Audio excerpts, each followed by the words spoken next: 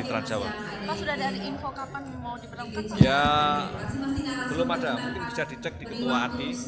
Tapi asumsinya diskon tarif itu kan akan diberlakukan untuk mengurai kemacetan sehingga orang bisa pemudik bisa mudik lebih awal dengan adanya diskon itu karena tarifnya jadi lebih murah gitu. Ini Pak diskonnya tadi berapa Pak dan kapan berlakunya Pak? Eh, maksimal 20%. Yang itu yang memerlukan nanti BUJT-nya.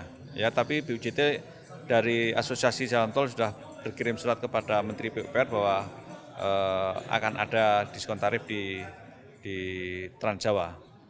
Gitu. Waktunya dan uh, sudah ada berapa badan usaha yang sudah Ya, bersedia? saya lupa angkanya tetapi akan diberlakukan di ruas Trans Jawa saja. Sampai kalau saya kemarin diskusi dengan BUJT yang lain itu kelihatannya sampai di Kali Kangkung. Ya, karena setelah Kali Kangkung kondisinya sepi. Jadi mereka ketika sepi tidak berani memberikan diskon karena artinya trafficnya dan revenue-nya juga kecil.